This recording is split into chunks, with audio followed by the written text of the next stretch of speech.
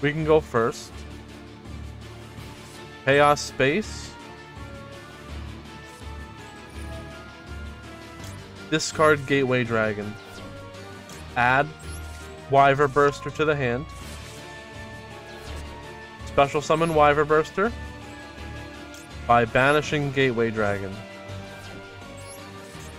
Now, you want to summon Striker Dragon with a Wyverburster or a Collapserpent because you can Chain Link block.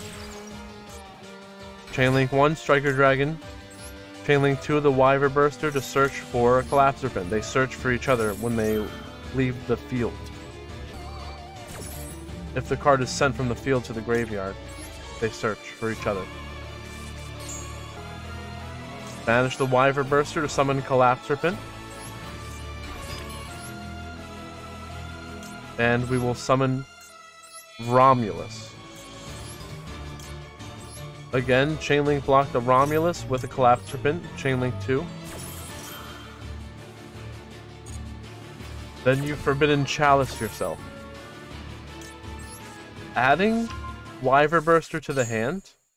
Romulus searching for Dragon Ravine. Activate Dragon Ravine. With the Ravine, we are going to discard Wyverburster. And send to the graveyard Absorouter. Absorouter's effect. We can add to our hand Rokket Tracer.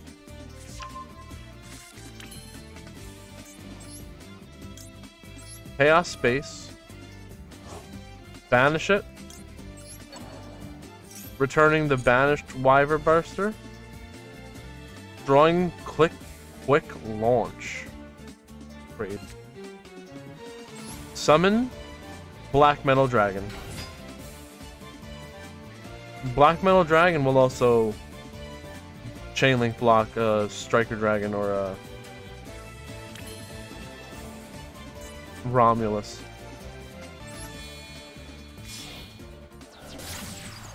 Summon Striker Dragon. Do not activate Romulus effect. We will, however, activate Quick Launch. Quick Launch is going to summon Silverrokket Dragon. Adding to our hand, Red Eyes Darkness Metal Dragon. There's Nibiru. Did we normal summon this turn?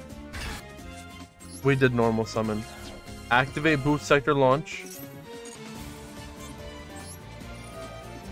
Boost Sector Launch will summon Rokket Tracer.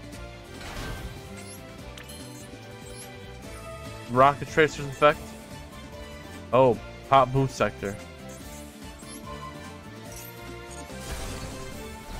That is going to summon Rokket Recharger.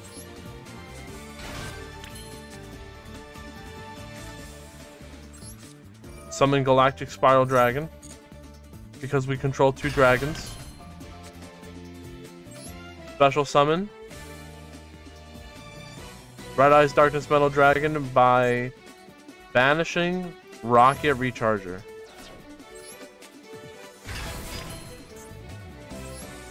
Red Eyes Darkness Metal Dragon's effect. Summoning Silverrokket. What does Borrelend require?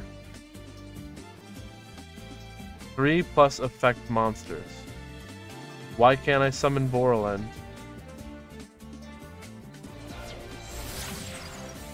IP. Now we can Borrelend.